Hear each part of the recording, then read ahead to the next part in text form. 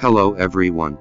This video introduces the upgraded version of MKS Monster 8, which is greatly improved on the basis of V1.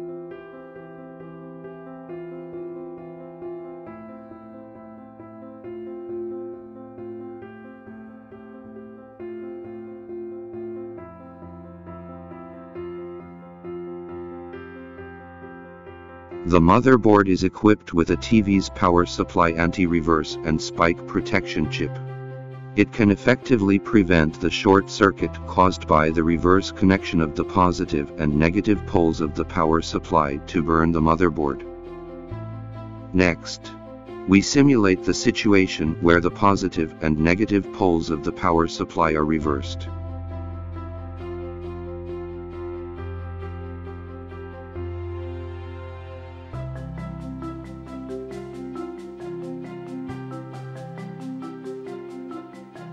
The motherboard will not work if the positive and negative poles of the power supply are reversed. So when you connect the motherboard to the power supply, the motherboard does not work. First check whether the power supply wiring is reversed. If it is found that the wiring is reversed, just connect the power supply to the motherboard correctly and it will work normally.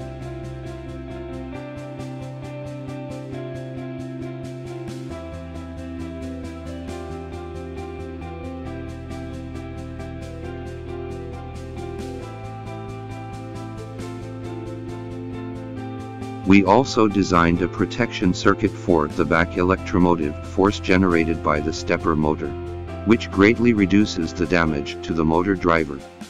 Taking Voron's machine as an example, when the print head is pulled hard, the motor will generate a back EMF.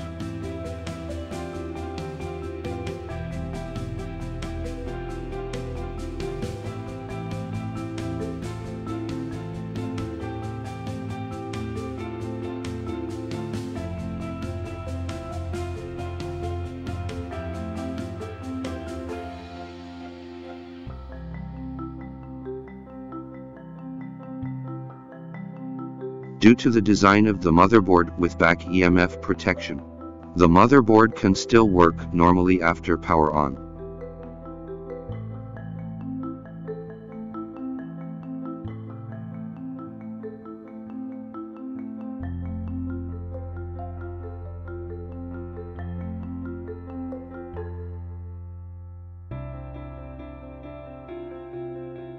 We also designed a DC5V3A power output for the Raspberry Pi.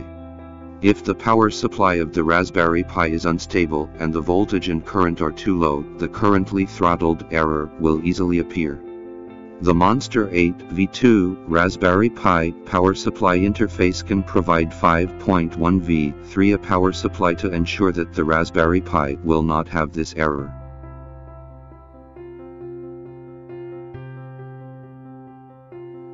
The voltage we measured with a multimeter is 5.09 V.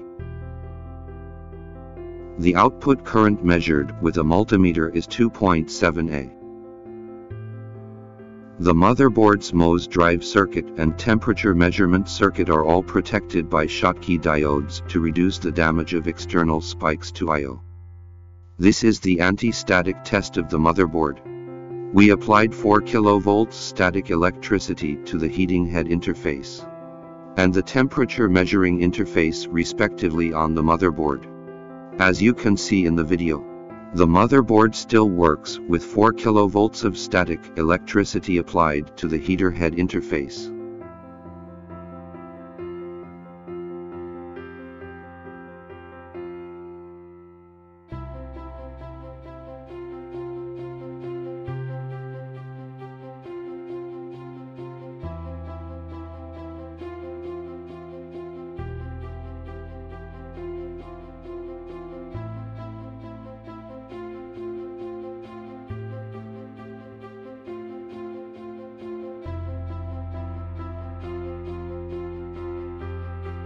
Now we apply 4 kV of static electricity at the temperature measurement interface.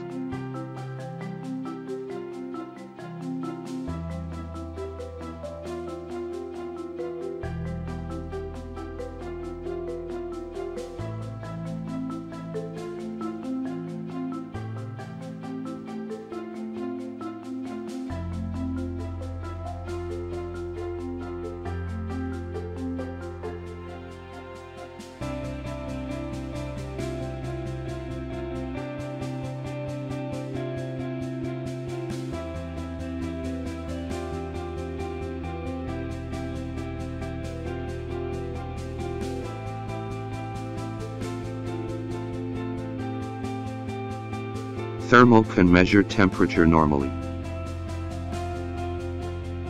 The PL08N leveling sensor signal interface is protected by Schottky diodes with a withstand voltage of 40 V to ensure that the signal pin of the chip will not be burned out due to the sensor.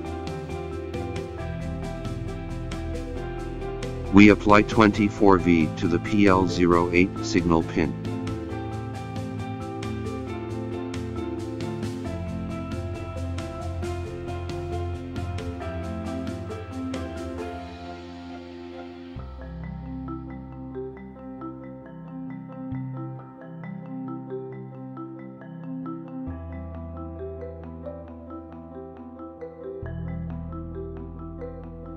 Then test that the PL08N still works normally and the signal pin is not burned out.